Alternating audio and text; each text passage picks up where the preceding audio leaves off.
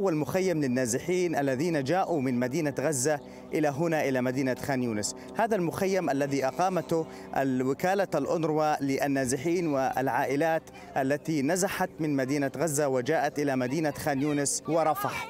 السلام عليكم حجة. وعليكم السلام. كيف حالك؟ الله يسلمك الحمد لله. حجة من وين نازحين أنتم؟ إحنا من معسكر جباليا جينا على الجنوب. جينا هنا يعني. أول ما جيتوا جيتوا على هذا المخيم ولا كنتوا في مدرسة؟ لا كنا عند بيت. في بيت يعني من المعارف.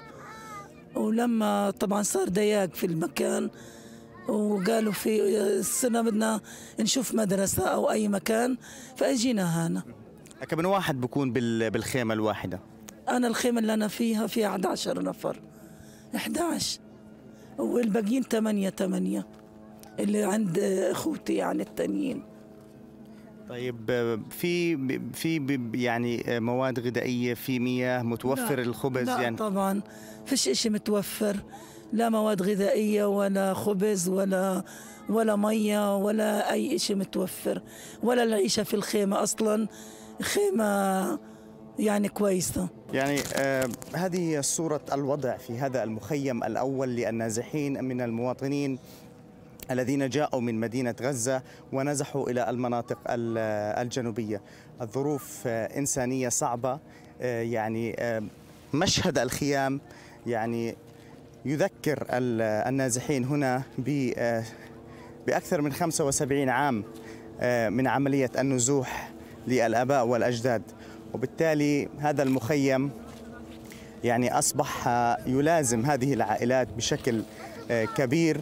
ويفاقم الأوضاع ال- الإنسانية. هنا كما نشاهد الأوضاع الإنسانية صعبة.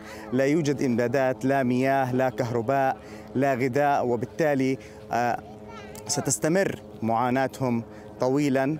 ونحن نتحدث عن اليوم الرابع عشر لهذه الحرب على قطاع غزة.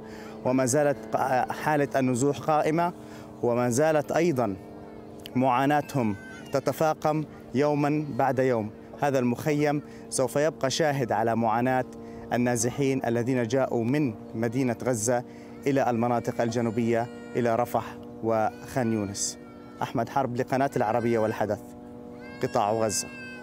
لمتابعة المزيد من الأخبار والبرامج والقصص الإنسانية والوثائقيات والتقارير لا تنسوا الاشتراك بقناتنا على يوتيوب الضغط على زر الإعجاب وتفعيل جرس التنبيهات.